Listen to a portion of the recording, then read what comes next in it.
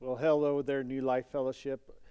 I am recording our service from yesterday. Yesterday we had some technical difficulties, uh, and so we weren't able to audio or video record. We are still trying to figure out what happened there, and hopefully we won't have that problem again in the future. But I wanted to share with you um, the message that we had yesterday, minus the music. But before that, I want to give you just a couple of announcements of what's going on at church and what, what's taking place. First of all, uh, life groups are going to be starting again here in September, and we're doing two, uh, well, actually, just one life group. It's called Love Does, and it's by Bob Goff. And, and following that Love Does uh, life group, we're doing another Bob Goff one called Everybody Always. This is a fantastic um, series that we're going to go through.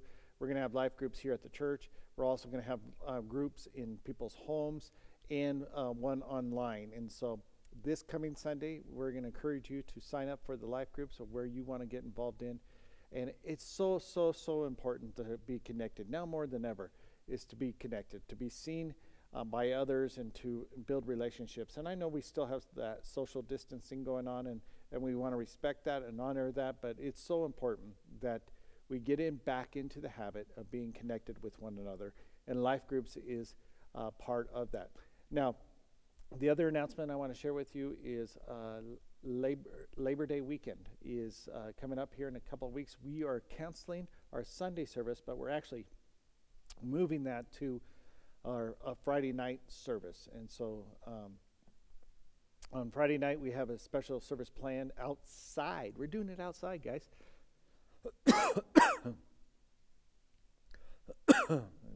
Back that up. Now, the other announcement I want to share with you is uh, oh, Labor Day weekend. Labor Day weekend is coming up here in a couple of weeks, and uh, we are moving our Sunday service to a Friday night service, and it's going to be an outdoor service. And it, I'm super excited about this. It's going to be so much fun. We're going to do it outside. We're going to have the music message, the special um, musical stuff going on, it's, and then followed by some ice cream. Now, my boys work at an ice cream place called Casper's. You may have heard of it. Um, we, we are ordering some of their Fat Boy ice creams, and we're going to give to everybody, and it's going to be awesome. And so it's going to be great on Friday night uh, uh, service, uh, Labor Day weekend. Sunday service is going to be canceled because we're moving it to Friday night. So those are the two things that are taking place at church. Life groups coming up, and then the Friday night special service. And so uh, we're excited about that. I want to get into God's Word today and, and just uh, talk about the weight and wonder of worship. We're going to be in Psalm 95, but we're also going to be in Exodus. And um, one, one of the things I, I want to share with you is just how awesome it is to worship God.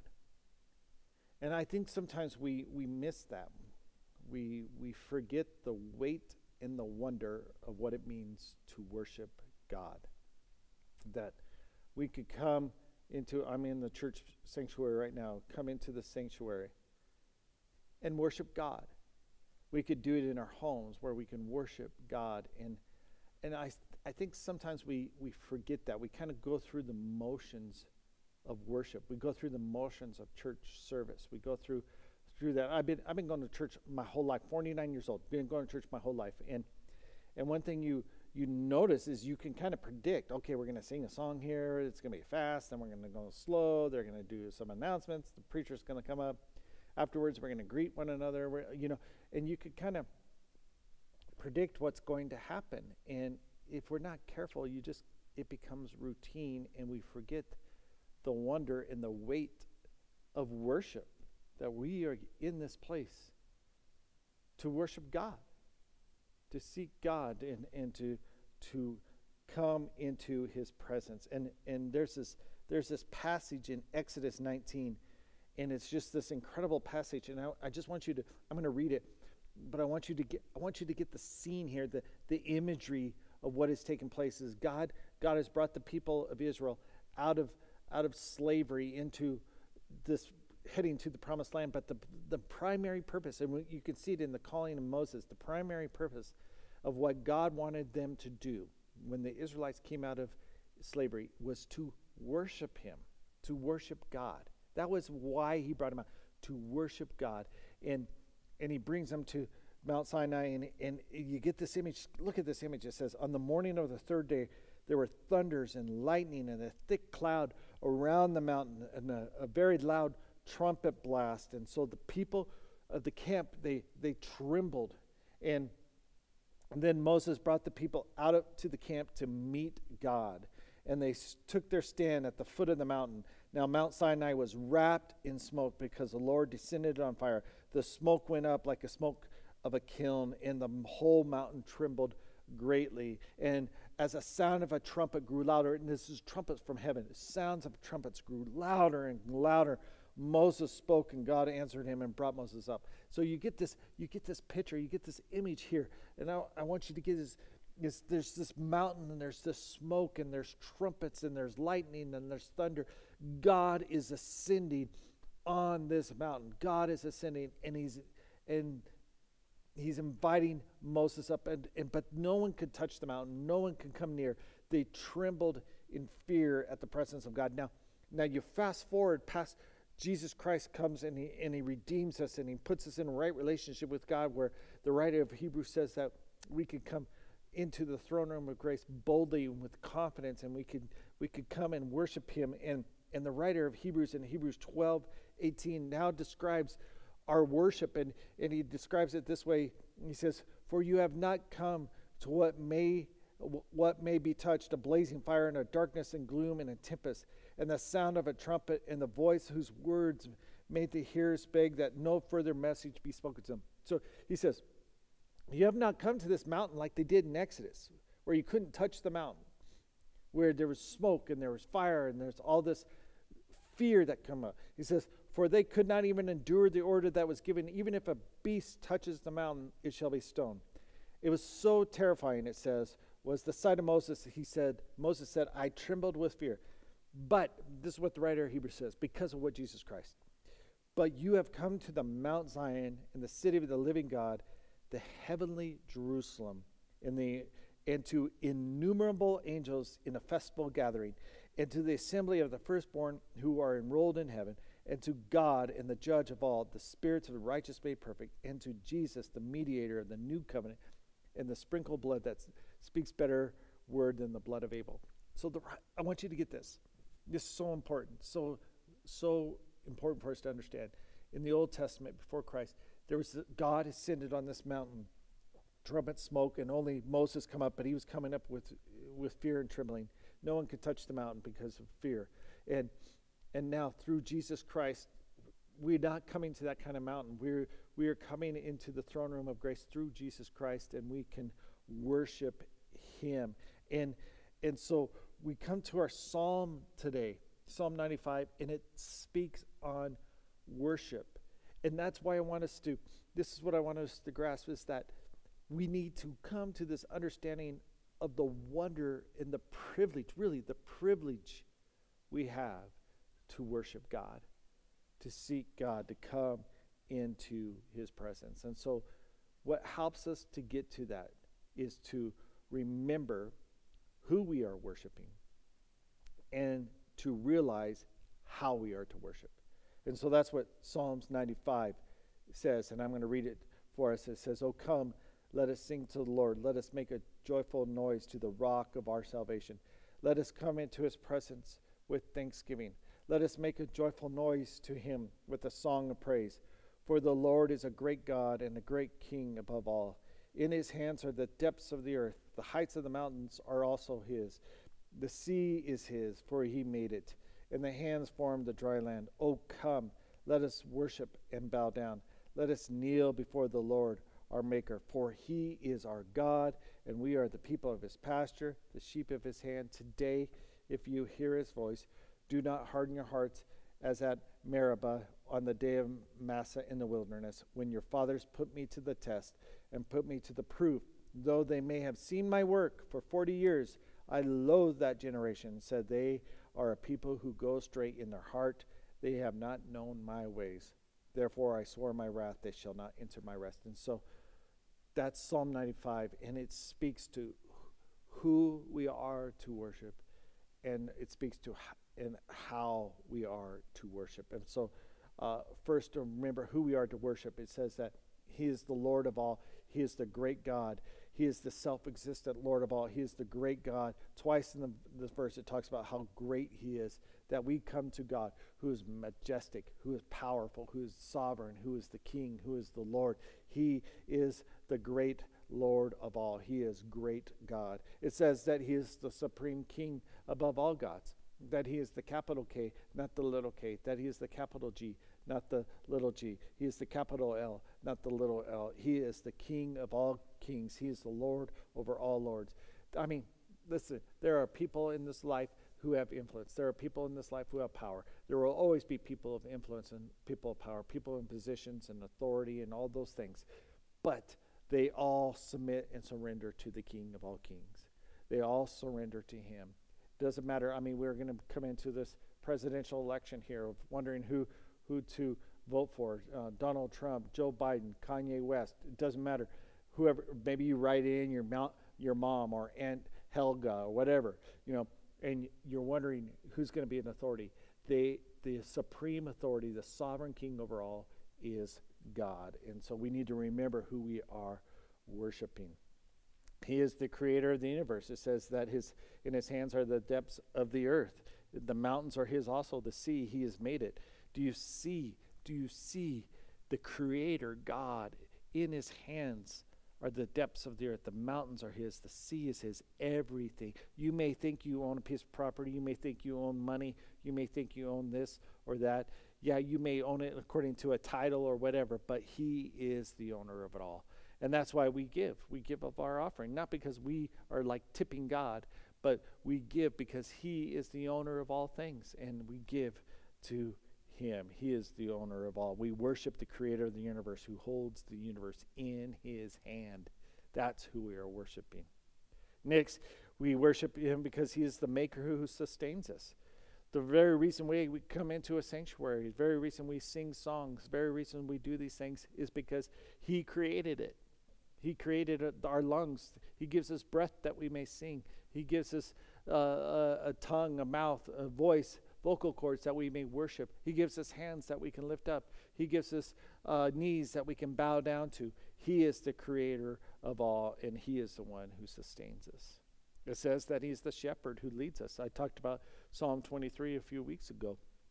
That he leads us beside still waters. He, he, he provides for our needs. He prepares a table in, fr- in front of our enemies. He is a good shepherd uh, surely goodness and mercy shall follow us. He, he is that good shepherd. He is watching over us. He is taking care of us. So the question is, is this that comes to my mind is if, if he's all these things, which he is, if he's all these things, if he is the Lord of all, he's the King of all kings, he is the creator, he is the sustainer, he is the shepherd, why would he want to do that? Why would he want to do that for us? Why would he want to have a relationship with you? And how could he do it? If he's so holy and righteous, how could he have a relationship with us? And the answer to that is back to verse 1 is that he is the rock who delivers us. He is the rock of our salvation. He is the one uh, that sustains us. Going back to the example in Exodus, no one could come to the mountain. No one could even touch the mountain out of fear of death. But in Hebrews, we do not have to fear. We could come boldly into the throne of grace. Why? Because of Jesus Christ, the rock of our salvation. We were lost in our sin. We were in the depravity of our sin. We were in the muck and the mire of our sin.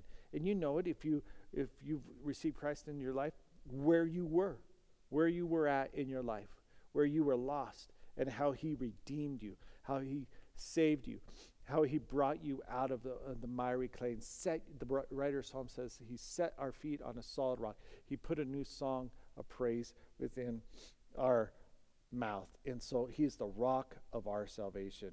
And so this is god. And it's all through jesus christ. Look at these verses that says that who jesus christ is. Revelation 19 16 talks about that. He's the king lord of all. He says on his robe is a on his thigh he has a name written on it king of kings and lord of lords so he is the king of kings the lord of lords jesus christ colossians 1.16 for him all things were created the creator of heaven and earth the maker of all things in heaven and earth visible and invisible whether thrones or dominions he's the ruler of over authorities all things were created through him and for him. Colossians 1:17 and before all things and in him he holds it all together. Jesus Christ holds it all together. John 10:11 he says I am the good shepherd. The good shepherd lays down his life for the sheep. And so Jesus Christ is the one. Do you see it? Do you see it? It all points to Jesus.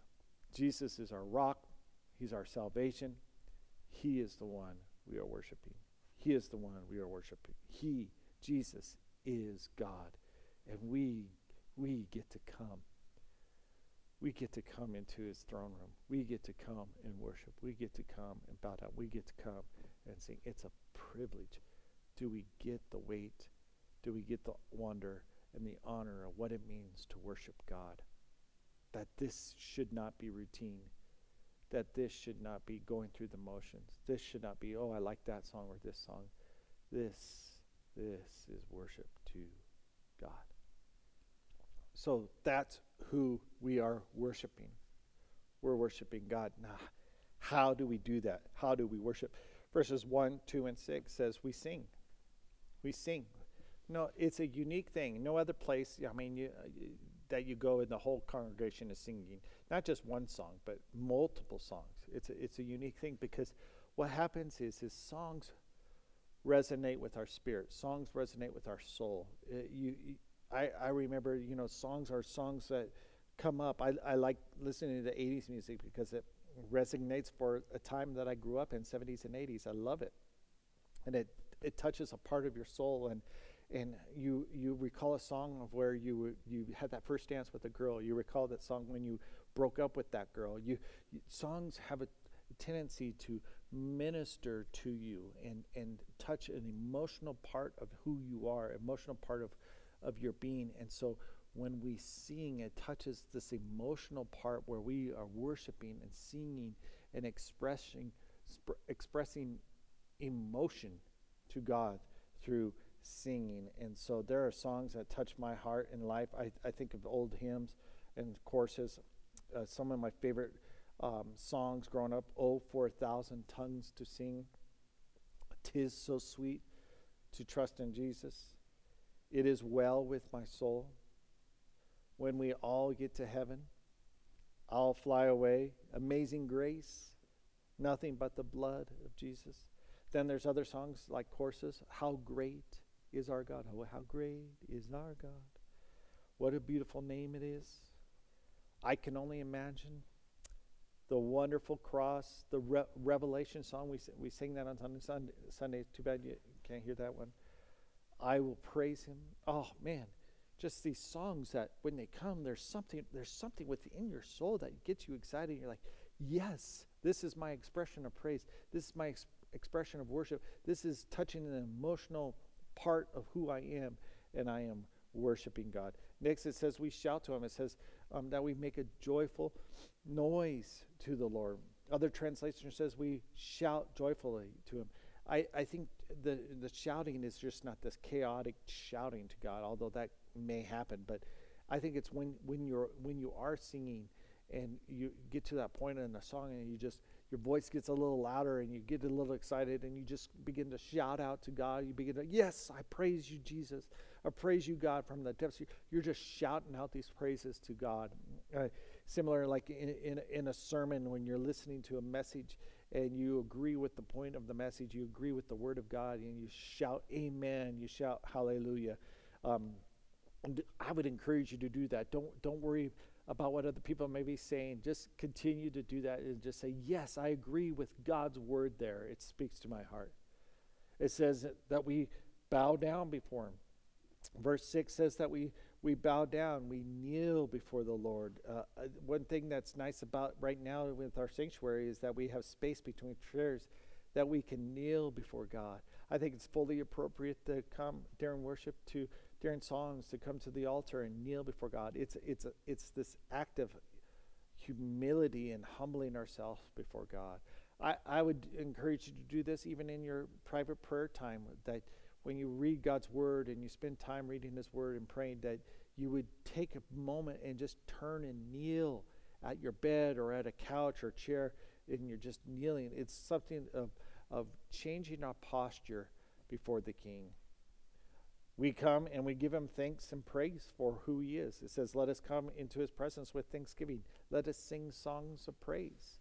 And so it's totally appropriate to thank God for who He is. I thank you, God, for saving me. I thank you for redeeming me. I thank you for my wife. I thank you for my children. I thank you for my spouse. I thank you for education. I thank you for all, all these different things. Begin to thank God for all that He's done. Thank you that come and thank you.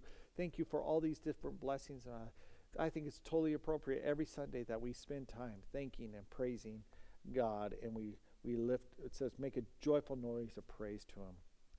And then, so these are these are specific things that we normally do. We sing, we we bow, we shout, we give thanks, we give praise. But the we also need to listen humbly to Him. Verse seven says, "Today, if you hear my voice." I don't know how many times I've had people come to me, and it's not often, but it, throughout my ministerial career, I've had people come to me and say, Man, worship was so good, we didn't even need the preaching. Like, if the preaching is not part of the worship. But preaching is part of it, that we, we listen. The part of the reason in Exodus, um, or in, in, in Exodus, where God was angry with them, is that they didn't follow with what God said for them to do. They heard, but they didn't walk in obedience. And so we need to hear. Worship is part of we get to we get to open up god's god's word. We not only get to come to a place and worship god we get to hear from god. It's a two-way street. We worship we praise him and we we exalt him. We lift up his name for he's worthy to be praised. But we also humbly say god would you speak? Give me ears to hear oh god what you're saying. God would you speak to my soul? Prepare my heart and we walk in obedience to it. The people didn't walk in obedience to God. They and he, and he turned and says, uh, "They will not enter my rest." God, when God speaks, we must obey immediately. We need to walk in obedience to Him and say, "Okay, Holy Spirit, what you're saying, let me walk in obedience." If you're if you're not listen, it's one thing to listen, but if you're not walking in obedience, what what's the point of even listening to what God says? So if whatever God is speaking into you, would you walk in obedience to that? And so, to kind of recap, on Sunday we, we had a time of just kind of closing this out with worship, and we, obviously we can't do that right now, but I want you to think here today is the importance of, of worship, of who we are worshiping. We're worshiping the great God, the great creator of heavens and earth, the king above all, the owner of the universe, owns all things, the maker who sustains us, the shepherd who guides us, the rock of our salvation. We are worshiping Jesus. And it's not just on Sunday mornings at 10 o'clock or whenever you're watching this. We can worship him all the time. We get to worship God. And we do that through singing. We do that through shouting. We do that through kneeling. We do that through humbly listening. We do that through um, praise and thanksgiving. Reading His Word, and I say, Oh God, speak and let me walk in obedience. So I want to encourage you to have a lifestyle of worship, a lifestyle of recognizing the King on a daily basis a lifestyle of recognizing who God is on a daily basis, that you worship Him, that you walk in according to what He has called you to do. God is moving. He is an amazing, awesome God. We put our faith, we put our trust, we put our hope in the sovereign King of, of this universe, and we worship Him. Would you pray with me, Father? Thank you so much for the opportunity that we have, not only on Sundays, but every day, to worship you, to sing songs of praise, to reflect on your glory, to reflect on your goodness, to reflect on your reverence in who you are. God, may we sing all the more. May we shout all the more. May we bow all the more. May we praise and give you thanks all the more. May we listen and walk in obedience all the more because you are worthy of it all. In Jesus' name, amen. God bless you. We look forward uh, to seeing you this coming Sunday. Hopefully, we won't have technical difficulties. God bless you. Have a great week, everyone.